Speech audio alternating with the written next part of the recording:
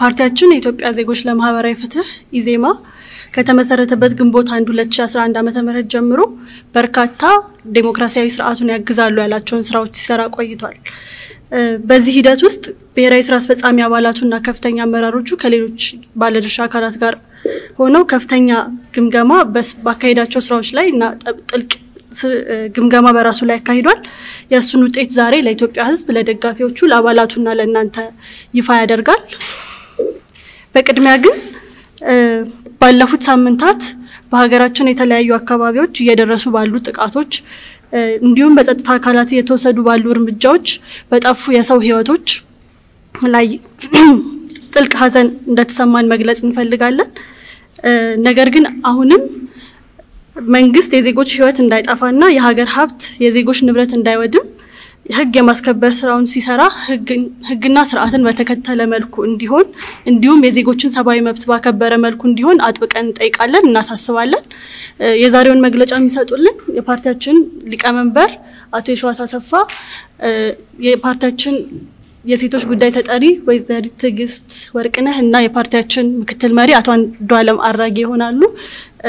በቅድሚያ ትዕግስት ወርቅነህን ወደዚህ ጋብዛታለሁ። የኢዜማ የእስካሁኑ ጉዞና የወደፊት አቅጣጫ ከኢትዮጵያ ዜጎች ለማህበራዊ ፍትህ ፓርቲ ኢዜማ የተሰጠ መግለጫ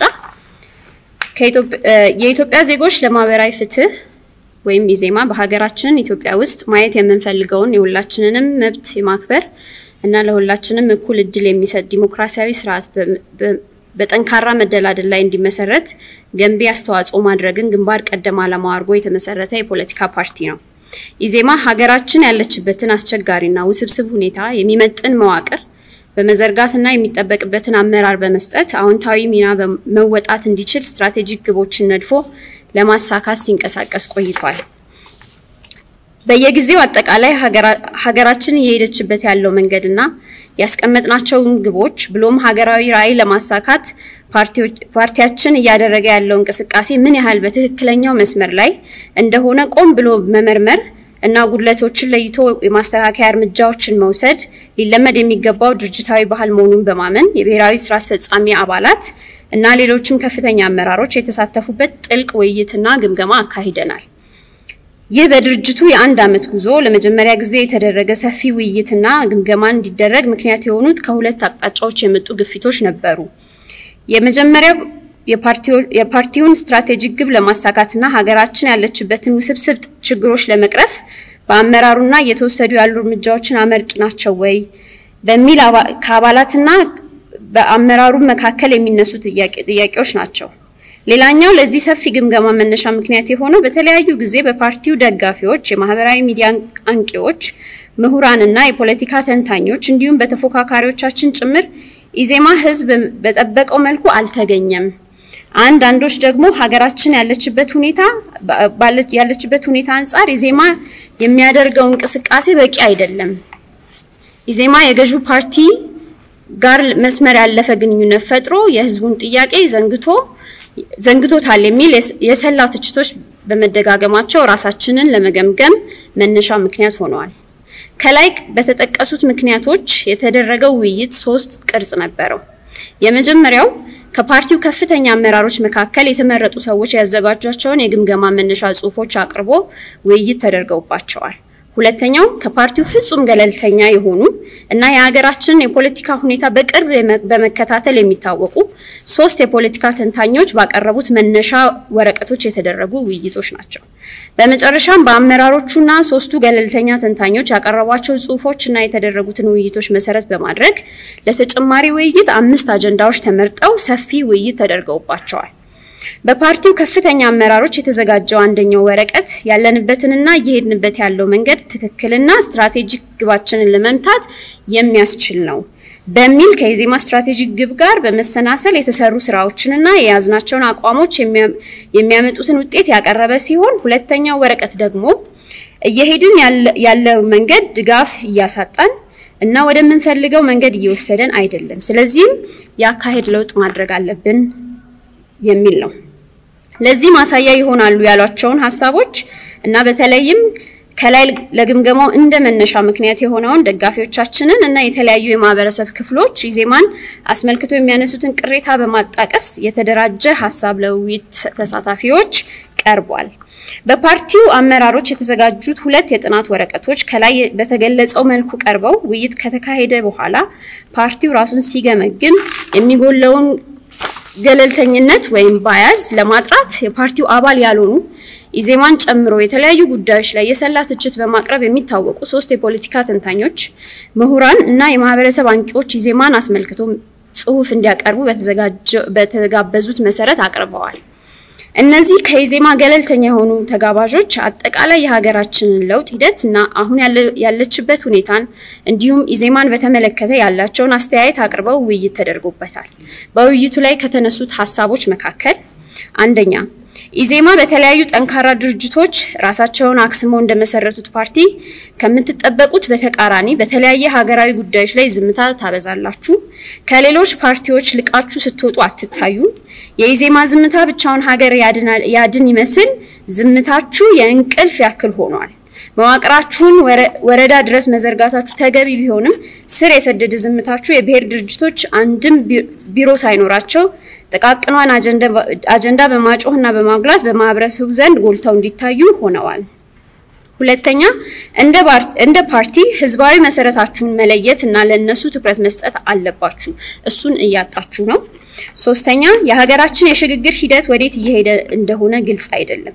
ወደ ዲሞክራሲ ወደ ግለሰብ አምባገነንነት ወይንም ወደ ዘውጋዊ አምባገነንነት አገዛዝ ሊያመራ የሚችልበት ሰፊ እድል አለ።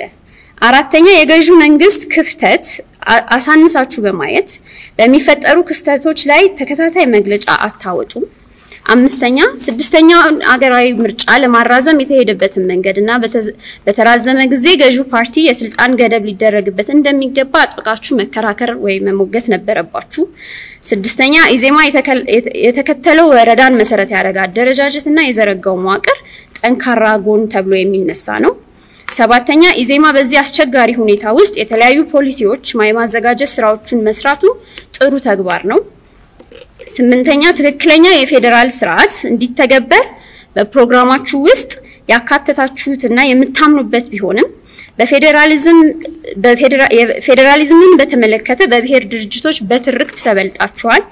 ዘጠነኛ በአመራሮች መካከል እንዲሁም በአባላትና በአመራር መካከል ያለው የፖለቲካ እይታና አረዳድ እንዲሁም ኢዜማን በመግለጽ በኩል ልዩነት አለ። አስረኛ ዜግነትን መሰረት ያደረገ ፖለቲካ ከሚለው በዘለለ የመደራጀት መሰረታችሁ የሆነውንና ዘውግ ዘለል ለሆነ አደረጃጀት የሚጠቅመውን የማህበራዊ ፍትህ ፍልስፍናን አጉልታችሁ ማቅረብ አልቻላችሁም። አስራ አንደኛ ለሚደረግባችሁ የስም ማጥፋት ዘመቻ መልስ ለመስጠት ወደ ኋላ ማለታችሁ ህብረተሰቡ ውስጥ ላለ ውዥንብር መንስኤ ሆኗል። አስራ ሁለተኛ ለውጥ እንዲመጣ ያደረጋችሁት አስተዋጽኦ ሊሰጣችሁ የሚገባውን የሞራል ልዕልና የኢህአዴግ ካድሬ ለነበሩ በመተው ከእናንተ የተሻለ የሞራል ልዕልና ያላቸው እንዲመስል እያደረጋችሁ ነው የሚሉ ሀሳቦች በተጋባዦቹ የተነሱ ናቸው። በፓርቲው ከፍተኛ አመራሮችና በተጋባዦቹ ከቀረቡት መነሻ ጽሁፎች በኋላ ተጨማሪ ውይይት ሊደረግባቸውና በብሔራዊ ስራ አስፈጻሚ ውሳኔ ሊሰጥባቸው ይገባል የተባሉ አምስት አጀንዳዎች ተለይተው ሰፊ ውይይት ተደርገውባቸዋል። አጀንዳ አንድ የፓርቲው ስትራቴጂክ ግብ ኢዜማ ተልእኮውን ማስፈጸም የሚችል ዘመን ተሻጋሪ፣ ጠንካራ፣ ተጠያቂነት ያለበት የፖለቲካ ፓርቲ ማድረግ ኢዜማ ኢትዮጵያን በጠንካራ የፖለቲካ የኢኮኖሚና የማህበራዊ እድገት ጎዳና መምራት የሚችልና የህብረተሰቡን አመኔታ ያገኘ የመንግስት ቅርጽ እንዲኖረው ማድረግ በሀገራችን ሰላምና መረጋጋትን ለማስፈን የተጀመረውን ሀገራዊ ለውጥ ተቋማዊ ለማድረግ እንዲቻል ከባለድርሻ አካላት ጋር በመተባበር ጉልህ ሚና መጫወት እና በየደረጃው በሚገኙ ምክር ቤቶች አብላጫ ወንበር በመያዝ መንግስት ለመመስረት የሚያስችል መቀመጫዎችን ማሸነፍ። እነዚህ የፓርቲው ስትራቴጂክ ግቦች ሲሆኑ በተደረገው ውይይት ወቅት ፓርቲው በሁሉም የሀገራችን ክፍሎች ተደራሽ የሆነ ጠንካራ የድርጅት መዋቅር በመዘርጋት እና እነዚህ የምርጫ ወረዳ መዋቅሮች በየአካባቢያችን ያሉ ከኢዜማ ሀሳብ ጋር የሚሄድ አመለካከት ያላቸውን ዜጎች አባላትና ደጋፊዎች እንዲሆኑ የተሰራው ስራ ኢዜማን ጠንካራ ተቋም ለመገንባት ለሚያደርገው ጥረት ጥሩ አስተዋጽኦ እንዳደረጉ ተነስቷል። ኢዜማ በህብረተሰቡ ዘንድ ኃላፊነት የሚሰማው ከስልጣን በላይ የህዝብ ደህንነትና የዲሞክራሲ ስርዓት ግንባታ የሚያሳስበው ድርጅት ነው የሚል አመለካከት በበቂ ሁኔታ ህብረተሰቡ ውስጥ እንዳልገባም በውይይቱ ተነስቷል። ሰላምና መረጋጋት እንዲሰፍን እንዲሁም የዲሞክራሲ ተቋማት እንዲገነቡ ኢዜማ የተቻለውን ያክል እንቅስቃሴ እያደረገ በብዙ የሀገራችን አካባቢዎች ማንነት ተኮርና የተለያየ የፖለቲካ አመለካከት ያላቸው ግጭቶች በተደጋጋሚ የሚከሰቱ ቢሆንም በየትኛውም ቦታ የኢዜማ አባላት እና ደጋፊዎች ሰላምና መረጋጋትን ከሚነሳ ጉዳይ ጋር ስማቸው ተነስቶ አያውቅም። ይህም ከግባችን አንጻር እንደ ስኬት ሊታይ እንደሚገባ በውይይቱ ተነስቷል። የዲሞክራሲ ተቋማትን ለመገንባት አንጻርም የዲሞክራሲ ተቋማትን ከመገንባት አንጻርም አፋኝ የነበሩ ህጎች በተሻሻሉበት ሂደት ውስጥ ንቁ ተሳትፎ በመደረጉም እንደ ተጨማሪ ጠንካራ በውይይቱ ላይ የተነሳ ሀሳብ ነው። ኢዜማ አባል የሆኑና ያልሆኑ በተለያየ መስክ እውቀት ያላቸው ባለሙያዎች እያሳተፈ እያዘጋጀው ያለው የፖሊሲ አማራጭ አማራጮች በምርጫ ውስጥ የምናደርገውን ተሳትፎ ከማገዝ በላይ የሀገራችንን ፖለቲካ በሀሳብና በምክንያታዊ ውይይት ላይ የተመሰረተ እንዲሆን አስተዋጽኦ ስለሚኖረው ተጠናክሮ መቀጠል እንዳለበት ስምምነት ተደርሷል። ስትራቴጂክ ግቦቻችን ቅድሚያ የሚሰጡት ለሀገር ሉዓላዊነት፣ ለሰላም እና የዲሞክራሲያዊ ስርዓት ግንባታን ነው። በዚህ መሰረት የሀገርን አንድነትና ደህንነትን፣ የሀገራችን ሰላምና ዲሞክራሲያዊ ስርዓት ግንባታን አደጋ ውስጥ የሚጥሉ አካሄዶችን ለአጭር ጊዜ የፖለቲካ ድጋፍ ተብሎ የተለየ አቋም መያዝ በፍጹም እንደማይገባ በድጋሚ ስምምነት ላይ ተደርሷል። የምናወጣቸው መግለጫዎችና በተለያየ ጉዳዮች ላይ የምንይዘው አቋም ከስትራቴጂክ ግባችን ጋር የማይጋጩና ግቦቻችን ለማሳካት መንገድ መሆን እንደሚገባቸውና በመንግስት በኩል ሀገርንና ሕዝብን የሚጎዱ ድርጊቶች ሲፈጸሙ በግልጽ ድርጊቱን ማውገዝ ተገቢ መሆኑንም ተስማምተናል። አጀንዳ ሁለት አሁን ያለበት ያለንበት ወቅታዊ ሁኔታና ለውጡን እንዴት እናየዋለን? በዚህ አጀንዳ ስር ወሳኝ የሆኑ ነጥቦችን አንስተን የገመገምን ሲሆን የለውጡን ጊዜ ተስፋ ሰጪ የነበሩ ወቅቶች እና አሁን ላይ ያጋጠሙ ያሉ ተግዳሮቶችን በዝርዝር አይተናል። ተስፋ ሰጪና በጎ ጅምሮችን ጅምሮች ተብለው ከተጠቀሱት ውስጥ ወደ ዲሞክራሲ ወደ ዲሞክራሲ ለሚደረገው ጉዞ እንቅፋት የሆነ ሆነው የነበሩ አፋኝ ህጎች ገለልተኛ በሆኑ ባለሙያዎች እንዲረቀቁና እንዲጸድቁ መደረጉ፣ የዲሞክራሲ የፍትህ እና የሰብአዊ መብት ተቋማት ከፖለቲካ ገለልተኛ በሆኑ ሰዎች እንዲመሩ ጥረት መደረጉና ሀገራችንን ወደ እርቅና ይቅርታ መባባል ሊወስዱ የሚችሉ ታዋቂ ሀገራችን ፖለቲከኞች የሀገር ሽማግሌዎችና ምሁራን የተካተቱባቸው ብሔራዊ የእርቅና ሰላም እንዲሁም የማንነትና ወሰን ኮሚሽን መቋቋማቸው የለውጡን ጅማሮ ተስፋ ሰጪ ያደረጉት ነበሩ። የገዢውን ፓርቲ ወደ አንድ ውህድ ፓርቲነት መምጣት እንደ አንድ በጎ አካሄድ የተመለከት ነው ቢሆንም እሱንና የምርጫውን መቃረብ ተከትሎ የገዢው ፓርቲ መዋቅሮች የተለመደ የአፈና ስራቸው ውስጥ ተዘፍቀው መገኘታቸው በውይይቱ ውስጥ ተነስቷል። በለውጡ ጅማሮ የተበረታታነውን ያህል በለውጡ ወቅት ሀገር እየመራ ያለው ኃይል ኃይል ላይ ጥያቄ ልናነሳ ይገባል የሚሉ ሀሳቦች በዚህ አጀንዳ ስር ውይይት የተደረገበት ነው። በዚህ አጀንዳ ውስጥ በተለያየ ወቅት ኢዜማ ገዢው ፓርቲን ሲገልጽ የታችኛውና የላይኛው መዋቅር እያለ እየለያየ መግለጽ ምን ያህል አግባብ ነው በሚል ሰፊ ውይይት ተደርጎበታል። በተለይ የታችኛው አመራር ስልጣኔንና የተለያየ ጥቅማ ጥቅሜን አጣለሁ ብሎ ስለሚሰጋ አፈናውን የሚያካሂደው ይህ አካል ነው፣ ልንታገለው ይገባል የሚል ሀሳብና በፍጹም ብልጽግና ብልጽግና ነው የላይኛውና የታችኛው አመራር ብለን ለይተን ልናየው አይገባም። አንድ ተቋም እስከሆነ ድረስ የትኛውም አካል ለሚፈጽመው ጥፋት ፓርቲው ኃላፊነት ሊወስድና ተጠያቂ ሊሆን ይገባል የሚል ስምምነት ተደርሷል።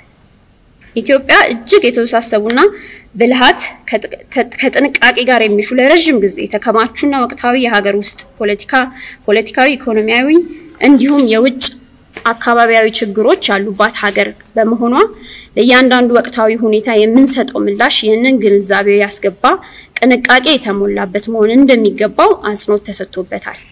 አጀንዳ ሶስት ድርጅታዊ ግምገማ የኢዜማ ገጽታ በአባላት በመገናኛ ብዙኃንና በህዝብ ዘንድ። በዚህ አጀንዳ ስር በፓርቲ ውስጥ ስራን አቅዶ ከመስራት ጀምሮ የተሰሩ ስራዎች እቅድን መሰረት አድርገው መሰራታቸውን የመመርመር ወይም evaluation ልምድ ሊዳብር እንደሚገባ የተጠቀሰ ሲሆን የኢዜማን ገጽታ አስመልክቶ በተለይ በማህበራዊ ሚዲያ ፓርቲው ላይ ከፍተኛ የሆነ ስም የማጥፋት ዘመቻ የሚካሄድ መሆኑን ነገር ግን የህዝብ ግንኙነት ክፍሉ እነዚህን እንደማይመክት በተለያየ ክስተቶች ላይ ፈጣን መግለጫ አለማውጣት ድጋፍ እንዳሳጣን የተነሱ ሲሆን እነዚህ ሀሳቦች በሚሞግት መልኩ በማህበራዊ ሚዲያ የሚናፈሰውን ተከትለን አለመሄዳችን ተገቢ መሆኑ በበቂ ደረጃ ባይሆን በአብዛኛው ህዝብ ውስጥ ኃላፊነት የሚሰማውና ትክክለኛ መንገድ ላይ ያለ ፓርቲ እንደሆነ ግንዛቤ ያለ የሚሉ መከራከሪያዎች ቀርበዋል።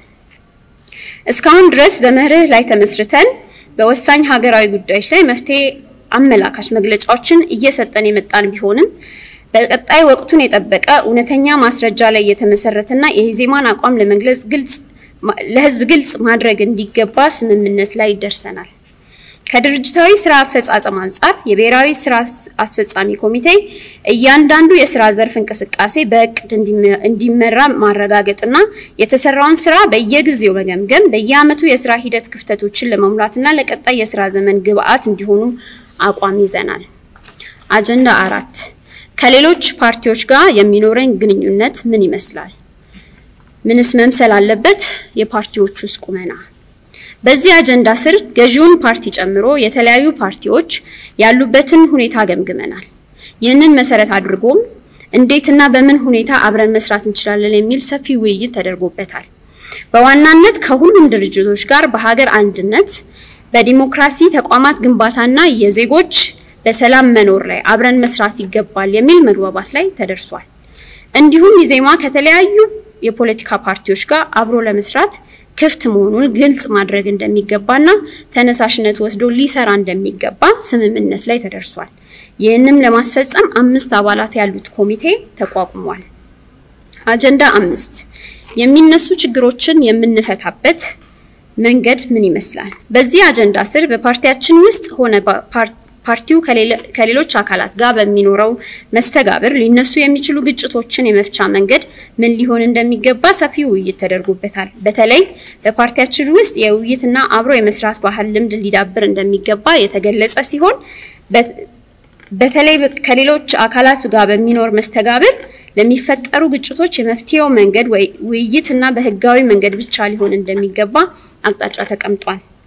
ሌላው የፖለቲካ ፓርቲዎች ምክር ቤት ጠንካራ እንዲሆንና የፓርቲዎች የቃል ኪዳን ሰነድ ተግባራዊነት ላይ ትኩረት ሰጥቶ መስራት እንደሚገባ መግባባት ላይ ተደርሷል። በምርጫ ወረዳ አባላት ላይ ለሚደርስ ችግር ከማዕከል ብቻ እንዲፈታ ከመጠበቅ ወረዳዎች በራሳቸው ችግሮችን መፍታት እንዲችሉ የማብቃት ስራ መስራት እንደሚገባ ተስማምተናል። አጠቃላይ ባደረግነው የአንድ ዓመት ፍተሻ ያሉብንን ድክመቶች ለመለየት እና ጠንካራ ጎኖችን በማጎልበት መርህ መሰረት አድርጎ የፓርቲያችን የሶስት ዓመት ስትራቴጂክ ሰነድ ባስቀመጠው መሰረት በቀጣይ ለሚደረገው ምርጫ በቂ ዝግጅት እንዲደረግ በሁሉም አደረጃጀቶች የፓርቲው እንቅስቃሴ በእውቀት በእውቀት ላይ ተመስርቶ የፖሊስ የፖሊሲ አማራጮችን በማቅረብና ከህብረተሰቡ ጋር ተቀራርቦ መስራት መሆን እንዳለበት በመረዳት ዜጎች በተለይ የኢዜማ አባላት በአካባቢያቸው ሰላምና ደህንነት ከሁሉም አካላት ጋር ተባብረው እንዲሰሩ ጥሪ እናቀርባለን። የኢትዮጵያ ዜጎች ለማህበራዊ ፍትህ ኢዜማ ነሐሴ 15 ቀን 2012 ዓ.ም። ኢዴፓ ጋር ደግሞ የቆየ ነገር አላችሁ እና እንዴት ነው እንዲህ አይነት ነገሮች እንዴት ነው address የምታደርጉት የሚል ይመስለኛል። I think አሁን በግምገማችን የደረስንበት ውሳኔ እንዲህ አይነት ነገሮችንም ጨምሮ የሚያይ ነው። የኢዴፓ ጉዳይ እኛ ባናምንበትም በራሱ መንገድ ሄዶ በፍርድ ቤት የተወሰነ ውሳኔ አለ፣ በምርጫ ቦርድ የተወሰነ ውሳኔ አለ። ስለዚህ ያንን እናከብራለን። አሁን የራሳችንን መንገድ ቀጥለናል። ምርጫ ቦርድ ህጋዊ ነው ብሎ ከተቀበለው እኛ ባናምንበትም፣ ስለዚህ በተለያዩ ሀገራዊ ጉዳዮች ላይ እንደ ማንኛውም ፓርቲ ተቀራርበን የመስራት ችግር አይኖርብንም ማለት ነው። ደረጃው ሊለያይ ይችላል። በተለያዩ ሾዎች ላይ ግን ኢትዮጵያውያን እስከሆኑ ድረስ የኢትዮጵያ ጉዳይ የሚመለከታቸው ወገኖች ሁሉ ደረጃቸው ይለያይ እንጂ ከነሱ ጋር አብረን ልንሰራ እንችላለን። ስለዚህ ኢዴፓም አንዱ ፓርቲ እስከሆነ ድረስ በሚያገናኙን ጉዳዮች ላይ አብረን ማንሰራበት ምክንያት አይኖርም። አጠቃላይ ግን አጠቃላይ ግን መታየት ያለበት ለምሳሌ ህብረ ብሔራዊ ፓርቲዎች ብቻ ሳይሆኑ የብሔር ፓርቲዎችም አሉ። አንድ ሀገር ነው ያለን። ነገር ግን የተለያዩ ፓርቲዎች በዚህ ሀገር እንንቀሳቀሳለን። እይታችን ይለያያል። ያ ማለት ግን አንድ የሚያደርጉን ምንም ነገሮች የሉም ግን ማለት አይደለም። የዲሞክራሲ ጉዳይ ለምሳሌ ሁላችንም ያስማማል ብለን እንወስዳለን። በዲሞክራሲ ጉዳይ ላይ፣ በሀገር አንድነት ጉዳይ ላይ፣ በጸጥታ ጉዳይ ላይ እና በተለያዩ ህዝባዊና ሀገራዊ ጉዳዮች ላይ ከብዙዎቹ ጋር አብረን ልንሰራ እንችላለን ብለን እናምናለን። ኢዜማ ደግሞ የመቻቻል የመስከን ተምሳሌት ለመሆን የሚፈልግና እየሰራ ያለ ፓርቲ ነው። ስለዚህ በፓርቲዎች መካከል ያለው አላስፈላጊ መጓተትና መገፋፋት እሱ እንዲረግብ እና ወደ ጋራ ግቦቻችንና አላማዎቻችን እንድናይ እንፈልጋለን። ለዛ ደግሞ አቅሙ አለን፣ ብቃቱ አለን፣ ተነሳሽነቱን መውሰድ እንችላለን ብለን እናምናለን። ከዛ አንጻር ነው ግምገማችን የግምገማችን ውጤት የሚያሳየው ማለት ነው። ከመንግስት ጋር በተያያዘ እናንተን ጠርተን ሀሳቦቻችንን ግልጽ ስናደርግ ለህዝቡ ብቻ ሳይሆን ለመንግስትም እንዲደርስ ስለምንፈልግ ነው። በተገቢው መንገድ እርምት እንዲወሰድ መንግስት ጆሮ እንዲሰጥና የህዝብን ጥያቄ እንዲመልስ ያልተገቡ ውሳኔዎችን እንዲያስተካክል ለማድረግ ስለምንፈልግ ነው ጋዜጣዊ መግለጫ የምንሰጥ እንጂ ለሚዲያ ብቻ ወይንም ለህዝብ ብቻ የተቃኘ መግለጫ አይደለምና ከዛ አንጻር አንዳንዶቹን እንደሚገባን መንግስትም እየወሰደ የሚያስተካክላቸው ነገሮች አሉ። አንዳንዶቹን ደግሞ ዝም ብሎ የሚገፋባቸው ነገሮች አሉ። የሚያስተካክላቸውን እሰየው። ነገር ግን በማያስተካክላቸው ላይ ተደጋጋሚ ውቶታ እናደርጋለን። ሁኔታዎች ከተፈጠሩ ደግሞ ተገናኝተንም የመነጋገር ችግር የለብንም። ኢትዮጵያ አሁን ያለችበትን አገራዊ ልዩ ሁኔታ እንረዳለን። የሽግግር ወቅት ነው። ብዙ ውስብስብ ነገሮች አሉ። ስለዚህ እንደተባለው መወያየት፣ መነጋገር ወሳኝ ነገር ነው። እንኳን ከመንግስት ጋር አይደለም ሌላም አጀንዳ ካላቸው ነገር ግን በፖለቲካ ወይንም በድርጅት መልኩ ከተደራጁ ወገኖች ጋር ሁሉ ተቀራርቦ መወያየት ባህል መሆን አለበት። በጥይት መከራከር እንደ ባህል መምከን አለበት ብለን እናምናለን። በአንደበት ደግሞ መፋጨት፣ መወያየት ደግሞ እንደ ባህል መዳበር አለበት ብለን እናምናለን። ስለዚህ ከመንግስት ጋርም ቢሆን ጆሮ ዳባ ልበስ ብሎ የሚያልፋቸውን ነገሮች መጀመሪያ እንወተውታለን፣ ካልሆነ ደግሞ ወደ ሰላማዊ ትግል እንገባለን ማለት ነው ለማስገደድ በውይይት ካመንና ፈቃደኛ ከሆነ ግን ሁልጊዜም በራችን ክፍት ነው። ከምርጫ ጋር ተያይዞ ለተነሳው ጉዳይ በጊዜው መግለጫ አውጥተናል። እኛ ቀድሞውንም ኢዜማ ኢትዮጵያ ለእንደዚህ አይነት ምርጫ ዝግጁ አለመሆኗን አበክረን ደጋግመን ደጋግመን ገልጸን ነበር።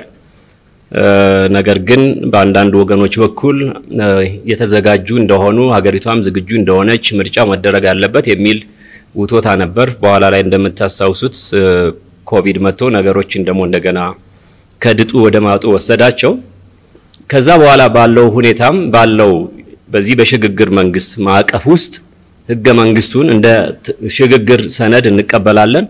ይህ ይህን ስንል ግን ተደጋግሞ የተገለጸው ነገር ህገ መንግስቱ የኢትዮጵያ ህዝብ ተመካክሮበት ወስኖበት የኢትዮጵያ ህዝብ የኔ የግሌ ብሎ የሚታገልለት ሰነድ ነው ብለን ባናምንም ለዚህ የሽግግር ወቅት ግን መነሻ ሰነድ ያስፈልገን ነበር። ያ ደግሞ ህገ መንግስቱ ነው። ስለዚህ እሱን ተቀብለን በዛ ማዕቀፍ ውስጥ መሸጋገር አለብን ብለን እምነት አለን። በዛ ሽግግር በዚህ የሰነድ መሰረት ወይም በህገ መንግስቱ መሰረት ደግሞ የተቀመጡ አሰራሮች አሉ። ስለዚህ ከአራቱ አማራጮች ውስጥ እኛ የሚመስለንን ጠቁመን ነበር። ነገር ግን መንግስት በራሱ መንገድ ሂዶ የወሰነው አለ። እሱ እሱን ካነሳ በኋላ ልዩነታችን ገልጸናል። ጊዜው መገደብ አለበት። ዝም ብሎ ልቅ ሊሆን አይችልም። ስልጣኑ የተገደበ መሆን አለበት። የሽግግር መንግስቱ የሽግግር እንቅስቃሴ ውስጥ ነው ያለውና የተገደበ ነገር መሆን አለበት የሚል ተቃውሟችንን ገልጸናል። አሁን እንኳን ደህና መጡ ጠቅላይ ሚኒስትሩ በቅርቡ ግፋ ቢል እስከ ዘጠኝ ወር ቢወስድ ነው የሚል ነገር አምጥተዋል። እኛም ከአንድ ዓመት እስከ አንድ ዓመት ነው ማክሲማ መሆን ያለበት፣ በዚህ ሁኔታ መቀመጥ አለበት ብለን መግለጫ አውጥተን ነበር። በጊዜው አልተቀበሉትም። አሁን ያንን በማለታቸው ጥሩ ነው። ሌሎች ሀገሮችም እንደምታዩት አሁን ኮቪድ የኮቪድ ጉዳይ በአጭር ጊዜ ውስጥ ከምድረ ገጽ የሚጠፋ ነገር እየሆነ አይደለም ያለው። ብዙ ረጅም ጊዜ የሚፈጅ እንደ ወረርሽኝ የሚቀጥል እየሆነ ነው ያለው። በእንደዚህ አይነት ሁኔታ ደግሞ ነገሮችን በሊምቦ በዝም ብሎ ገቶ መቆየት ተገቢ ነው ተብሎ አይታመንም። ባለው ሁኔታ ነገሮችን ለማስሄድ ጥረት ማድረግ ተገቢ ነው ብለን እናምናለን። ስለዚህ እንዳሉት ከምርጫ ዋናው ወሳኙ መንግስት ሳይሆን ምርጫ ቦርድ ቢሆንም ምርጫ ቦርድም I think እንደዚሁ በተባለው ባጭር በአንድ ዓመት ጊዜ ውስጥ ማድረግ የሚቻልባቸው ነገሮች ማመቻቸት ይቻላል የሚል ሀሳብ እንደጠቆመ የጠቆመ ይመስለኛል። ስለዚህ በአጭር ጊዜ ውስጥ በአንድ ዓመት ጊዜ ውስጥ የሚካሄድ ከሆነ ጥሩ ነው። ነገር ግን አንድ የሚጎለው ነገር አሁንም ስለ ችግኝ ተከላ እያወራን ነው፣ ስለ ህዳሴ ግድብ እያወራን ነው፣ እሰየው።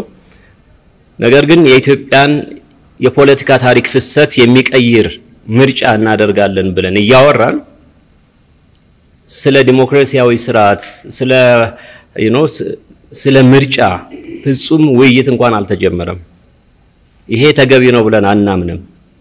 ሊያደናግሩን ነው ወይንስ ሊያስገርሙን ነው? እንግዲህ የምናየው ነገር ነው። ግን ምርጫ አሁን በዘጠኝ ወር ውስጥ የሚደረግ ከሆነ ቀድሞ የሚሰራ ነገር ብዙ ነው እና አሁን ዘጠና ሰባት ላይ እንኳን እንደምታስታውሱት ህዝቡን እንደዚህ አይነት ንቃት ውስጥ የከተተው ከምርጫው በፊት የነበረው ሰፊ የሆነ የፓርቲዎች ቅስቀሳ እና በሚዲያ ላይ የነበረው ሰፊ ሽፋን ነው። አሁን ግን ምርጫ የሚባል ነገር በኢትዮጵያ ውስጥ ዲሞክራሲ ለዲሞክራሲ የሚደረግ ትግል እንቅስቃሴ ፍጹም የሞተ ይመስላል። ያ የመንግስት ደካማ ጎን ነው ብለን እናምናለን። በትክክል ለዲሞክራሲ ቁርጠኝነቱ ካላቸው ካሁኑ ልክ እንደ አባይ ጉዳይ ልክ እንደ ችግኝ ከነዚህም ደግሞ በጣም በገዘፈ ሁኔታ ህዝቡ ስለ ዲሞክራሲያዊ ምርጫ ስለ ዲሞክራሲያዊ ለውጥ ካሁኑ መወያየት የሚችልባቸውን ሁኔታ ማመቻቸት ጊዜ የሚሰጠው ነገር አይደለም ብለን እናስባለን። I think በዚህ ጥያቄ የዓለማየሁንም እንትን የመለስኩ ይመስለኛል። የዓለማየሁንም ጥያቄ በዚህ መልስ የዓለማየሁ ሁለተኛው ጥያቄ ላይ በአጠቃላይ ይሄ አገራችን ውስጥ ያለው አለመረጋጋት በዋናነት ጎልቶ የሚታየው በጣም የከረሙ የተጠራቀሙ የፖለቲካ ችግሮች በሀገራችን አሉ። በእንቅርት ላይ ጆሮ ደግፍ ተብሎ ብሎ ደግሞ እንደሚሉ ደግሞ ባለፉት ሰላሳ ዓመታት የብሔር ፖለቲካ ሲዘራ የኖረበት ሁኔታ ነው ያለው። አሁን ፍሬው ችርግግ ብሎ እየታየ ነው ያለው። ለዚህ ደግሞ የአሁኑ ብልጽግና የቀድሞ ኢህአዴግ ህወሓትም እንዲሁ የቀድሞው ኢህአዴግ ሌላው ክፋይ የዘሩት ዘር ነው ብለን እናምናለን። ፍሬውንም እነሱም አብረው እያጨዱ ነው ብለን እናምናለን። ችግሩ ያ ነው። ያንን ደግሞ ለማስተካከል የፖለቲካ ምህዳሩ በጥሩ ሁኔታ የተከፈተ ቢሆንም ሲጀምር በሚገባው ፍጥነት ግን ሄደዋል ብለን አናምንም። ውይይት በስፋት የተደረገ ነው ብለን አናምንም። የይስሙላ አይነት እንዳያማህ ጥራው እንዳይበላ ግፋው የሚመስል አይነት እንጂ በደንብ የፖለቲካ አስተሳሰቦችንና ኃይሎችን የሚያቻችል እና ለአንድ ዓላማ ለአንድ ውጤት የሚያሰልፍ ሁኔታ በተገቢ ሁኔታ ተመቻችቷል ብለን አናምንም። ያ ለእንደዚህ አይነት ችግሮችን መፈጠር ምክንያት ነው ብለን እናምናለን። በሌላ በኩል ደግሞ ትዕግስት ማጣት በፖለቲካ ወገኖች ወይንም ኃይሎች በኩል ትዕግስት ማጣትና ሁሉንም እኔ ባልኩት መንገድ ካልሄደ ብሎ የመስራት እና ያለመስከን ያለመረጋጋት እነዚህ ችግሮች በዋናነት ምክንያት ናቸው ብለን እናምናለን። በኦሮሚያ ውስጥም የተከሰተው በሌሎች በደቡብም የተከሰተው ከዚህ ጋር ይያያዛል። አይ ቲንክ መንግስት ብዙ ጊዜ ደጋግመን የወቀስ ነው የተወቀሰበት ነገር ምንድን ነው የህግ የበላይነትንና ወደ ሰፊነት መካከል ያለውን ደረቅ መሬት መፈለግ አለባችሁ። የህግ የበላይነት ያስፈልጋል፣ ወደ ሰፊነትም ያስፈልጋል። ያንን ደረቅ መሬት ፈልጉ እያልን ነበር። አሁን የህግ የበላይነት የማስከበር እርምጃ ውስጥ መግባታቸው ጥሩ ነው። አሁንም ሌላ መልእክት አለን። ያ መልእክት ምንድን ነው? በህግ ማስከበርና በአምባገነንነት መካከል ያለውን ደረቅ መሬት ደግሞ አሁን መፈለግ አለባቸው። ከልክም ደግሞ እንዳያልፉ በጣም መጠንቀቅ ያስፈልጋል። የዜጎችን የሰብአዊ መብት ባከበረ ሁኔታ የህግና ስርዓትን ባከበረ ሁኔታ እርምጃ መወሰድ ሲኖርበትም ህግ ማስከበር ሲኖርም ህጉ እንደሚለው ብቻ ህጉ ከሚለው የማያንስ ህጉ ከሚለውም ያልበዛ ነገር መውሰድ ይገባቸዋል ብለን እናምናለን። ከታች ከወረዳዎች ጀምሮ እስከ ላይ ስራ አስፈጻሚ ድረስ የሚሰሩ ስራዎችን ለይተን እየሰራ ነው ያለ ነው። በእውነት ለመናገር ቅድም ጸጋውም እንዳነሳው እኛ በተለያየ ወቅት ዝም ብለን አንድ ገጽ መግለጫ አውጥተን አይደለም issue ዎችን discuss የምናደርገው። ጊዜ ይወስዳል። ጊዜ ወስደን የሚገባውን ልዑክ አዘጋጅተን ባለሙያዎችን መድበን ጉዳዮችን ችግሮቹን ብቻ ሳይሆን መፍትሄዎችንም የሚያመላክቱ ስራዎች ነው እየሰራን ያለ ነው እና በዚህ በኮቪድ ወቅትም ደግሞ ምን መስራት አለብን አሁን ባለው ሁኔታ ያለውን የወጣውን ጊዜያዊ አዋጅ አስቸኳይ ጊዜያዊ አዋጅ ግንዛቤ ውስጥ የከተተ ምን አይነት ስራ ነው መስራት ያለብን የሚለውን ግንዛቤ ውስጥ ከተን ወረዳ ድረስ አባሎቻችን በዚህ ወቅት የሚሰሩትን ስራዎች ለይተን ሰጥተናል። እኛም ስራዎችን እየሰራን ያለ ነው። በተለይ ከፖሊሲ ስራዎች ጋር ተያይዞ ሰፊ ስራ እየሰራን ያለ ነው። ምክንያቱም ብዙ ግንኙነት መፍጠር ሳያስፈልገው የሚሰራ የወረቀት ስራ ስለሆነ ሰዎችም በየቤታቸው ቁጭ ብለው በተወሰነ ደረጃም ተገናኝተው የሚሰሩት ነገር ስለሆነ እሱ ላይ ሰፊ ስራ ፖሊሲ ዝግጅት ላይ ሰፊ ስራ እየሰራን ያለ ነው። አንዳንዶቹ ፖሊሲዎች በመንግስት ደረጃ እንኳን ታስበው የማያውቁ ፖሊሲዎችንም ጭምር እየሰራን ያለ ነው። የተለያየ ወደፊት ግልጽ የምናደርጋቸው ስራዎችን እየሰራን ያለ ነው። የአዲስ አበባ ጉዳይ ደጋግማችሁ አንስታችኋል። ለሁላችሁም በዚህ አጋጣሚ ማስተላለፍ የምፈልገው አንድ ሳምንት በአንድ ሳምንት ጊዜ ውስጥ በዚህ ጉዳይ ላይ ሰፊ የተደረገውን ፓርቲው ያደረገውን ጥናት እና ግኝቶቹን እና የመፍትሄ ሀሳቦችን በሚመለከት ለእናንተ ለኢትዮጵያ ሕዝብና ለመንግስትም እንዲደርስ አድርገን አዘጋጅተን እናቀርባለን። እሱን መነካካት አንፈልግም። የወይዘሮ አዳነችን መሾም በሚመለከት ዝም ብዬ ለምን እንደው አላቅም የጠቅላይ ሚኒስትር እንዳልካቸው መኮንን ካቢኔ ጉዳይ እየመጣ አስቸገረኝ፣ ተመላለሰብኝ። ጉልቻ ቢለዋወጥ የሚለው ነገር እየተመላለሰ አስቸገረኝ። ወደፊት እናየዋለን። ነገር ግን ዋናው ነገር ይሄ ይሄ ነገር ወደ እኔ የተመላለሰው ጉልቻ ቢለዋወጥ ወጥ አያጣፍጥም የሚለው ነገር እስካሁን የአዲስ አበባ ህዝብ የአዲስ አበባ ከተማ ህዝብ መርጦ በፈለገው ኃይል እየተዳደረ አይደለም ያለው። በጣም ያሳዝናል። ትልቅ ከተማ፣ ብዙ የኢኮኖሚ መዋቅሮች ያለበት የተለያዩ የዓለም አቀፍ ዲፕሎማቶች በዓለም አቀፍ ደረጃ ሶስተኛው የዲፕሎማቲክ መናኸሪያ ከተማ የራሷ የሆነ መንግስት መርጣ አታውቅም። ተዳ መርጣም መምረጥ ብችልም ግን በዘጠና ሰባት መርጣለች። ግን በነበረው የፖለቲካ ወቅት በመረጠቻቸው ሰዎች አልተዳደረችም። አሁንም ያ ነው እየተደጋገመ ያለው። ይሄ አይደለም መፍትሄው። መፍትሄው ምርጫ አድርጎ ህዝብ የፈለገውን መርጦ በዛ መሰረት መስተዳደር ይገባዋልና አሁን ያለው ነገር ወደፊት የምናየው ነገር ነው። ጉልቻ ቢለዋወጥ ወጥ አያጣፍጥም የሚለውን ነገር እንድናስብ ግድ የሚለ ነው። የአቶ ሽመልስ ጉዳይ በዚህ ወቅት መቼስ እንደምታውቁት የስካር ዘመን ነው። ኢዜማ ደግሞ የሚወተውተው እባካችሁ እንስከን፣ በኃላፊነት ስሜት ሀገርን እናሸጋግር እያለ ለብዙሃን ጥሪ እያደረገ ነው ያለው። ስሜት አለን፣ ስሜታችን እንጫናለን፣ ያመናል፣ ህመማችን እንችላለን። ያንን የምናደርገው ለምንድን ነው? አሁን ያለንበትን ልዩ ነባራዊ ሁኔታ ስለምንረዳ ኢትዮጵያን በጥንቃቄ ዲሞክራሲ የምናዋልደው እንደ መሰለን በመናገር የተወሰነ ወገንን ለማስደሰት በመስራት አይደለም ብለን እየሰራን ያለ ነው። ግን ስካሩ ከግለሰቦችም አልፎ ወደ ፓርቲ እየተጋባ ይመስላል። የእሳቸው ደግሞ በጣም የሚገርመው አሁን ብቻ አይደለም ከዚህ በፊትም እኛ ትከሻ ለትከሻ ተደጋግፈን የኢትዮጵያን ችግር አብረን ወደፊት እንገፋለን እንለውጠዋለን ብለን ካሰብናቸው ሰዎች ውስጥ አንዱ ነበሩ። በተደጋጋሚ አሁን እየሰማ ነው ያለው ነገር ግን ግምታችንን ስህተት ነበር ወይ ብለን እንድንጠይቅ የሚያደርግ ነው እና በእርሳቸው ደረጃ ስካሩ ሲጋባ ደግሞ ያሳዝናል፣ ያሳስባል። በእርሳቸው ደረጃ ሰው ሲናገር አንድ ተራ ዜጋ እንደተናገረ አንወስድም። ይሄ በጣም መታረም አለበት። ሀገር ማፍረስ ነው፣ ለብጥብጥ ጥሪ ማድረግ ነው። ይሄ በጣም መታረም አለበት። ምክንያቱም የያዙት ስልጣን ትልቅ ስልጣን ነው። ያንን በሚያክል የኃላፊነት ስሜት መናገር አለባቸው ብለን እናስባለን። የአንድ የመጨረሻ ሀሳብ የማነሳው የማህበራዊ መሰረታቸው የሚለው የኛ የማህበራዊ መሰረት አዲስ አበባ ብቻ አይደለም። ኦሮሚያ በብሔር የተደራጁ ፓርቲዎች ስላሉ ህብረ ብሔራዊ የሆነ አስተሳሰብ ኦሮሚያ ላይ የለም ማለት አይደለም። ትግራይ ላይ ህወሓት ብቻ ስለሚጨፍር የትግራይ ህዝብ ህብረ ብሔራዊ የሆነ ሀገራዊ የሆነ አስተሳሰብ የለውም ማለት አይደለም። ደቡብ ላይ በብሔር የተደራጁ ብዙ ፓርቲዎች ይኖሩ እንጂ ኢትዮጵያዊነት እንደ ጉንጉን አበባ የፈካበት ህዝቡ በኢትዮጵያዊነቱ የሚኮራ ህዝብ ነው። ያ ሁሉ አዲስ አበባ ብቻ ከተሞች ብቻ ሳይሆኑ እያንዳንዱ ገጠር፣ እያንዳንዱ ጎጆ ቤት ውስጥም የኢትዮጵያዊነት አስተሳሰብ አለ። ያ ደግሞ የኛ ለም መሬት የኛ መሰረት ነውና በዛ ደረጃ ማጥበቡ ተገቢ አይመስለኝም። የኛ ማህበራዊ መሰረት ሁሉም ቦታ ነው ያለው።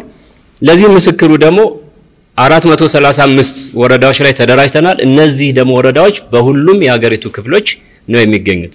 ኦሮሚያ ላይ ብዙ ወረዳዎችን ሸፍነናል። አማራ ክልል 100%፣ ደቡብ 100%፣ ሌሎችም አካባቢዎች ሶማሌ ክልልም ሳይቀር ሁሉም ላይ ደርሰናል እና ያ የኛ ማህበራዊ እኛ አይደለንም እዛ ሄደን ቢሮ የከፈት ነው። እዛ ያሉ ዜጎች ግን በኢትዮጵያዊነታቸው የሚኮሩ ለኢትዮጵያዊነታቸው የሚሰሩ የሚታገሉና የሚሞቱ ስለሆኑ ነውና መሰረታዊ ማህበራዊ መሰረታችን አዲስ አበባ ብቻ ተደርጎ መነገሩ አግባብ አይመስለኝም። እግዚአብሔር ይስጥልኝ። በግልጽ አማርኛ ከባለፈው በተሻለ ሁኔታ መስራት ቀጣዩን ነው እና በትክክል ለውጥ ይኖራል።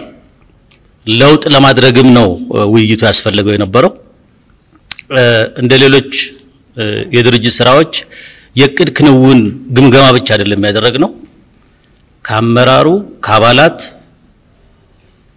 ምን አይነት እይታ ነው ያለው የሚል ወስደናል። በሱ ብቻ አይደለም ያቆምነው። ከፓርቲ ውጭ የሆኑ በኢትዮጵያ ፖለቲካ ላይ ጥሩ ትችት የሚያቀርቡ ሰዎችን ጋብዘን ንገሩን፣ እንዴት ነው ኢዜማ በህዝብ ዘንድ የሚታየው ብለን ጠይቀን የተነሳ ነው። እውነት ለመናገር በጣም መግለጫው ላይ እንደሰማችሁት ዘርዘር ያሉ ብዙ ብዙ አስተማሪ ነጥቦችን አግኝተናል። ከእምነታችን ጋር የሚሄዱ የምናስቀጥላቸው አንድ ድርጅት ወይም አንድ ግለሰብ ራሱን በተሟላ መልኩ እንደማያየው ሁሉ ደግሞ በተሟላ መልኩ ያላየንባቸው ልናስተካክላቸው የሚገቡ ነጥቦች አግኝተናል እና በትክክል ለውጥ ይኖራል። ለለውጥም ነው ያ ግምገማ ያስፈለገው።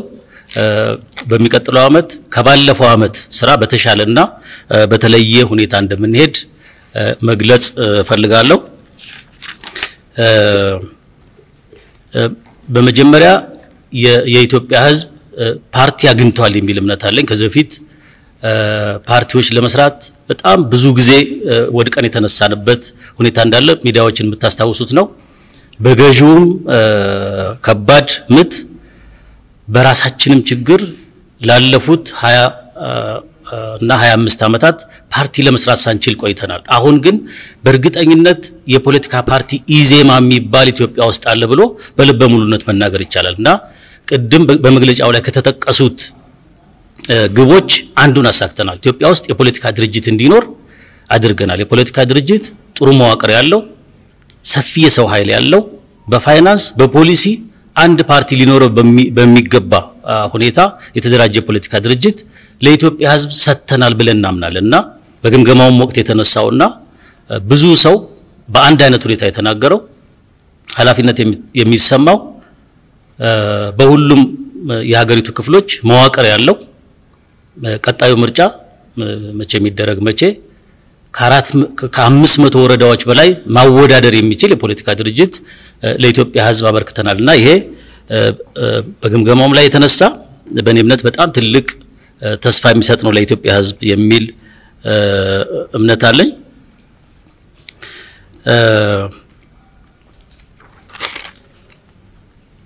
ከፓርቲዎች ጋር የሚኖረን ግንኙነት ቅድም አንዱ ዓለም ገልጾታል። ከባለፈው የተለየ ነው የሚሆነው። ከዚህ በፊት ምስረታ ላይ ስለነበር ፓርቲዎች ወደ አስር የሚጠጉ ፓርቲዎች እንደምታስታውሱት ራሳቸውን እያከሰሙ ነው ሲቀላቀሉት የነበረው። ያ process አልቋል። አሁን ኢዜማ ፓርቲ ሆኖ ወጥቷል። ከሌሎች ፓርቲዎች ጋር እንደ ፓርቲ ይነጋገራል። የምንሰራበት ሁኔታ ምን አይነት ነው የሚለውን ቅድም እንደተገለጸው ኮሚቴ ተቋቁሟል። ኮሚቴው የሚያው ስራ አስፈጻሚ የሚወስነው ነው የሚሆነው። አሁን ግን ከሁሉም ጋር ለመስራት ጥሪያችንን በይፋ እናቀርባለን። የኢትዮጵያ ጉዳይ የተወሳሰበ በጣም በርካታ ነው። በተወሰኑ ግለሰቦች፣ በተወሰኑ ፓርቲዎች፣ በተወሰኑ ቡድኖች ብቻ የሚሰራ ጉዳይ አይደለም የኢትዮጵያ ጉዳይ። ስለዚህ ለሁሉም ፓርቲዎች በጋራ የምንሰራው ጉዳይ አለን። በጣም ብዙ የዘውግ የፖለቲካ ድርጅት ይሁን የብሔር ይሁን አገር አቀፍ ይሁን ትንሽ ቁጥር ይኑረው ትልቅ ይሁን አብረን የምንሰራቸው በጣም በርካታ ጉዳዮች ስላሉ አብረን አብሮ ለመስራት ኢዜማ ከገመገሙ በኋላ ይፋዊ ጥሪ አድርጓል። ዝርዝሩን በፓርቲ መዋቅር የሚወሰን ነው የሚሆነው ማለት ነው። ከመንግስት ጋር ቅድም አንዱ ዓለም ገልጾታል። ፖለቲካ በግልጽ ነው የሚነገረው። የአደባባይ ገበያ ነው ፖለቲካ። በጓዳ የሚደረግ ነገር የለም። መንግስት ማስተካከል ያለበትን እንገልጻለን። ማድረግ ያለበትን እንደ ሽግግር ሂደት ቅድሚያ መስጠት ያለበትን እንገልጻለን። ወደፊት የምናደርገው እንደዛ ነው። በተለያየ ሚዲያ እንደምታዩት በፖሊሲ ማሻሻያዎች ላይ በተቋማት ማሻሻያዎች ላይ ደግሞ የነቃ ተሳትፎ የሚያደርግ ፖለቲካ ድርጅት ነው። ይህንን ይቀጥላል። ስለዚህ ከምናደርገው በይፋ ከምናደርገው መግለጫ በተለየ ሌሎች አይነት ንግግሮች ሊኖረን አይችልም ማለት ነው። ከምርጫ ጋር በተያያዘ እንዲያውም የመጀመሪያው የኢዜማ አማራጭ የህገ መንግስት ማሻሻያ ይደረግ በተለየ አንቀጽ የምርጫን አንቀጽ ብቻ የሚመለከት ከዚህ በፊት በታክስ አንቀጹ ላይ በህዝብና ቤት ቆጠራ አንቀጹ ላይ ማሻሻያ እንደተደረገው ሁሉ በውሳኔ ሀሳብ እዚህም አንቀጽ ላይ በተለየ ሁኔታ ሌላውን አንቀጽ ሳንነካ ማድረግ እንችላለን። ለተወሰነ ጊዜ በተገደበ ስልጣን ብለን ነው አማራጭ የሰጠ ነው። የትርጉም አማራጭ የመጣው በገዢው ፓርቲ በኩል ነው። ያንን ሄደውበታል። ይሄም ማለት ግን እንደ ሰለጠነ የፖለቲካ ድርጅት ማድረግ የምንችለው አማራጭ እናሳያለን፣ የተወሰነውን ህጋዊ መንገድ ደግሞ እንቀበላለን። ምክንያቱም የሁላችንም ስምምነት በህገ መንግስቱና ከሱ በታች ባሉ ተቋማት በእሱ እንሻገር ስለሆነ ያንን ነው እያደረግን ያለ ነው። ቅድም እንደተገለጸው ከዘጠኝ ወር ከአስር ወር ያለፈ ጊዜ አይሄድም ምርጫው የሚል ቃል አለ። ይሄ ግን በምርጫ ቦርድ በተወካዮች ምክር ቤት እና በሚመለከታቸው የመንግስት ተቋማት ይፋ እስከሚሆን ድረስ በልበ ሙሉነት መናገር አይቻልም። አሁንም ያ እንዲሆን ግፊት ማድረግ ያስፈልጋል። በሌሎች የዓለም ክፍሎችም ወደ ምርጫ እየተገባ ያለበት ምርጫ ቦርድም የማይቆም ከሆነ ባለው ሁኔታ እንዴት አድርገን በጀትም ምንም ተጨምሮ ማድረግ እንችላለን የሚል ጥያቄ ማቅረባቸውን እናውቃለን። ስለዚህ እኛም የኢትዮጵያ ሕዝብ በመረጠው እንዲተዳደር ነው ስንታገል የኖር ነው። ይሄ በተቻለ ፍጥነት እንዲሆን አቋማችን ነው ማለት ነው። ኦሮሚያ ክልል የተከሰተውን በተወሰነ ደረጃ በአዲስ አበባም ጭምር በተመለከተ በባለፈው መግለጫችን ላይ እንዳልነው ሰዎች ተደራጅተው መኪና ተከራይተው ስንት ኪሎ ሜትር ሄደው ችግር እስከሚፈጥሩ ድረስ የማይሰማ የመንግስት መዋቅር የማይሰማ የመንግስት ደህንነት አካል እኔ ክልልም ወረዳም እያስተዳደርኩ ነው ብሎ እንዴት በአፉ ሞልቶ እንደሚናገር ግራ ይገባኛል። የፈጣሪ ቸርነት ነው እንጂ ሌላም ሀገር ቢወረን ማስጣላቸውን እግዚአብሔር ነው የሚያውቀው። ከዛ አልፎ ደግሞ ይሄ ሁሉ ሲሆን አንድም የወረዳ የዞን የክልል ኃላፊ ይሄ ነገር የተፈጠረው እኔ ወረዳ ላይ ነው እኔ ክልል ላይ ነው ብሎ አንድ ሰው እንኳን ልብ ያለው ሪዛይን የሚያደርግ አላየንም። ይሄ እንደ ሀገር እንዴት ፖለቲካው መተዳደሪያ እንደሆነ እንዴት ለእንጀራ ብቻ የሚሰሩት እንደሆነ ያሳየን። ስለዚህ አሁን የሚደረገው እርምጃ ቅድም በመግለጫው ላይ የተጠቀሰው ህይወት ማጥፋት እንደዚህ ቀድሞ ሊከላከልና በዚህም በዚህም ይሙት በዚህም በዚህም ይጎዳ ኢትዮጵያዊ ነው ሁለቱም። ስለዚህ ቀድመን መከላከል የሚገባውን እንደ መንግስት አላደረገም። አሁንም ቢሆን ቀድሞ መከላከሉ ላይ እንዲበረታ ነው የኢዜማ ጥሪ። ከባለስልጣናት ሹምሽር ጋር የተያያዘ በተለይ ከመሬት ወረራ ጋር ኢዜማ ያቀረበውን ጥያቄ ተከትሎ እኛ ያቀረብነው ላስተዳደሩ ነው። በግለሰብ ደረጃ አይደለም፣ አጠቃላይ አስተዳደሩን ነው የጠየቅነው። የትኛው የሚተካም የሚሄድም የመንግስት አካል ሊመልስ ይችላል። እኛ እንደ መንግስት እንደ አስተዳደር ነው የጠየቅነው። እሱን በተመለከተ ሙሉውን ለሳምንታት የለፋንበትን ጥናት በቀጣይ ሳምንት ለህዝብ ይፋ እናደርጋለን። ተጠያቂነቱ ግን በዛ ቦታ ያለ የመንግስት አካል ነው የሚሆነው።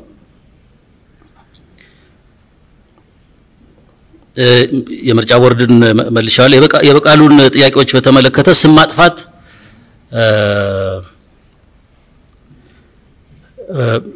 የኢትዮጵያ ፖለቲካ ለረጅም ለረጅም ጊዜ ሲባል የነበረው አገዛዝን ማውረድ ቀላል ነው፣ በቦታው ዲሞክራሲያዊ ስርዓት መተካት ግን ፈተና ነው። ይሄ አንተ የምታስታውሰው ለረጅም ጊዜ ሲባል የነበረው ይህንን እንቀይር፣ ተረጋግተን እንሂድ፣ በተለይ የምንናገራቸው ነገሮች ዜጎች ላይ ሀገር ላይ ችግር የማይፈጥር ይሁን የሚለው አካሄዳችን ለመንግስት እንዳገዝን የህዝብን ጥያቄ በቸልታ እንዳለፍን ለህዝብ እና ለዚህ ሚዲያ ለሚዲያውም የማይመጥኑ በጣም ብዙ ቃላቶች ተብለዋል። ይሄ ግን አገር ከሚነድ አገር ከሚቃጠል እኛ ላይ የሚነደውን እሳት እንቻለው ብለን ያሳለፍናቸው በጣም በርካታ አንድ አመት ቢሆንም እንደ ረጅም አመት የወሰድነው ነው እና በጣም ብዙ የስም ማጥፋት ዘመቻዎች ነበሩ። በግለሰብም እንደ ፓርቲ ደረጃ በፓርቲ ደረጃም በጣም ብዙ ፈተናዎችን ያለፍነው ግን ይሄ ሁሉ ሆኖ ለሀገር መረጋጋት አስተዋጽኦ እስካደረግን ድረስ ዋጋው ብዙ ውድ አይሆንም። ከፓርቲዎች ጋር ከሁሉም ጋር ቅድም ገልጫዋለሁ፣ ከሁሉም ፓርቲዎች ጋር አብረን ለመስራት በተለይ 2013 የምርጫ የሽግግር ምናልባት የኢትዮጵያ ሕዝብ ለመጨረሻ ጊዜ ወደ ዲሞክራሲ የሚሻገርበት አመት እንዲሆን እየተመኘን ሁሉም አካላት በጣም ብዙ ስራ ስላለ የግዴታ ምርጫ በፖሊሲ ብቻ አይደለም። ቅድም እንዳልኳቸው የኢትዮጵያ ችግር በጣም የተወሳሰበ አንዳንድ ጊዜ እንቅልፍ የሚነሳ ስለሆነ ሁሉም ሁሉም እህቶች፣ ወንድሞች በሁሉም ፓርቲ ውስጥ ያሉ አብረን እንድንሰራ አብረን እንድንመካከር ከዚህ በፊት የነበረው አይነት አካሄድ እንዲቆም የአብን ይሁን የኢዴፓ ይሁን የብልጽግና ይሁን የኦነግ ይሁን የየትኛውም ፓርቲ አባል ኢትዮጵያዊ ነው፣ ወንድም እህቶቻችን ናቸው። በየትኛውም አጀንዳ ቁጭ ብለን ለመነጋገር ዝግጁ ነን። በየትኛው platform እንሰራለን፣ ግን የነሱም የፓርቲያቸው መርህ ይጠይቃል፣ የእኛንም የፓርቲያችን መርህ ይጠይቃል። የሚወስንም የስልጣን አካል በየፓርቲዎቻችን ስላለ በዛ መልኩ የሚወሰን ይሆናል። ስለ ሰላም ለመስራት፣ ስለ ሀገር መረጋጋት ለመስራት፣ ስለ ኢትዮጵያ ቀጣይነት ለመነጋገር፣ ስለ ቀጣዩ ምርጫ፣ ስለ ዲሞክራሲ ሽግግሩና የሽግግሩን ወይም የጨዋታ ሕጉን አክብሮ ስለመሄድ መነጋገር ግን እውነት ለመናገር ሰውነትና ንጹህ ዜግነት ብቻ ነው የሚጠይቀው። ስለዚህ ከሁሉም ጋራ በእኛ በኩል አብረን ለመስራት ዝግጁ መሆናችንን ለመግለጽ ነው የምንፈልገው። በቃሉ ለኔ ያቀረብከው ጥያቄ አሁን ያለችው አሁን ያለችው ኢትዮጵያ ባለፈው ካልኩ በኋላ ብዙ ፈተናዎችን አሳለፈች እንጂ ያው ነች። አሁንም ተስፋ ያላት ግን በጣም በብዙ ፈተናዎች የምታልፍ ከስጋቶቿ በላይ ተስፋዎች ያሏት ሀገር በጣም ብዙ እሳት ቢነድባትም ይህን መከራ አልፋ ቢያንስ ለነጻነታቸው እንዳገዘቻቸው የአፍሪካ ሀገራት ያክል ዲሞክራሲ exercise ማድረግ ለመቻል እየጣረች ያለች ሀገር ናት። አሁን ያለውን ሁኔታ ከግንዛቤ ምንድን ነው አንስተህ እንደጠየቀኝ ይገባኛል። የኢትዮጵያ ሕዝብ ጨዋ ስለሆነ በሃይማኖት በባህል የታሸ ሕዝብ ስለሆነ እንጂ የነበረው ትርክት፣ የተሰራው ቅስቀሳ፣ የነበረው የሚዲያ ዘመቻ ሌሎች ሀገሮች እነ ሩዋንዳ ሌሎች ሀገሮች ላይ በአንድ ኤፍኤም ሬዲዮ በአንዲት ሰዓት ነው ያ ሁሉ የሆነው እና ኢትዮጵያ አሁንም ጨዋ ህዝብ ያላት ተስፋ ያላት ሀገር መሆኗን ነው የሚያሳየው እና ለእኔ አሁንም ተስፋዋ ይበልጣል። እነዚህን ፈተናዎች እንሻገራቸዋለን።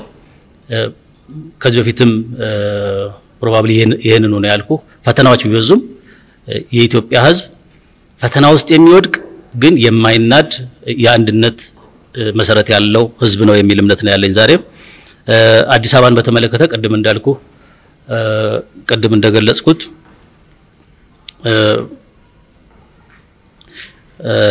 በቀጣዩ ሳምንት ሰፊ መግለጫ የምንሰጥ ይሆናል። በመጨረሻ የወንድም ሽመልስን ንግግር በተመለከተ በተወሰነ ደረጃ በማህበራዊ ሚዲያም ለመግለጽ ሞክሬያለሁ። እንደዚህ አይነት ውስብስብ የሆነ ችግር ውስጥ ውስብስብ የሆነ አገር ውስጥ ወይም ክልል ውስጥ ለማስተዳደር ኃላፊነት የተሰጠው ሰው መጀመሪያ መጠየቅ ያለበት ፈጣሪውን ጥበብ እንዲሰጠው ነው። ህዝቡን ከእንደዚህ አይነት ሁኔታ ማውጣት እንዲችል ፈጣሪው ጥበብ እንዲሰጠው ነው መጠየቅ ያለበት። ፖለቲካ ለኛ እንደዚህ አይነት ውስብስብ ችግርን የምናልፍበት ህዝባችንን ከእንደዚህ አይነት ችግር የምናወጣበት ጥበብ እንጂ በፍጹም ቁማር አይደለም፣ ሌላ ነገርም አይደለም። ስለዚህ ፍጹም ስተት ነው የእሳቸው ንግግር። ፕሮባብሊ በፓርቲያቸው የሚያርሙት ይሆናል። ለኛ ግን የተሳሳተ አገላለጽ ነው፣ ያልታሰበበት አገላለጽ ነው። መስተካከል አለበት የሚል እምነት አለን። በጣም አመሰግናለሁ። ጊዜ በቪዲዮ የተቀረጸ ሰዎችን በየቦታው ያነጋገረው ልዑኩ ሙሉውን በቀጣይ ሳምንት የሚወጣ ይሆናል። ግን እኔ ጭምር እኔ ራሴ ጭምር ሄጄ ብዙ ቦታዎችን አይተናል። ሁለት ነው ጥያቄያችን የነበረው። አንደኛው ማቋቋሙ ምን ደርሷል የሚል ነው። ሁለተኛው ደግሞ ዋስትና አሁን አሁን ያለው ዋስትና እንዴት ነው የሚል ነው። እናንተም እንደ ሚዲያ በእውነት ሰዎችን መጠየቅ እንዳለባችሁ እዚህ መናገር እፈልጋለሁ። የተጎዱ ሰዎችን መጠየቅ፣ መግለጥ ለህዝብ አገር ህዝብ እንዲያውቀው ማድረግ እንዳለባችሁ እዚህ መግለጽ እፈልጋለሁ። ያለው ሁኔታ ግን ማቋቋሙን በጥሩ ሁኔታ እየሄደ እንዳልሆነ አይተናል።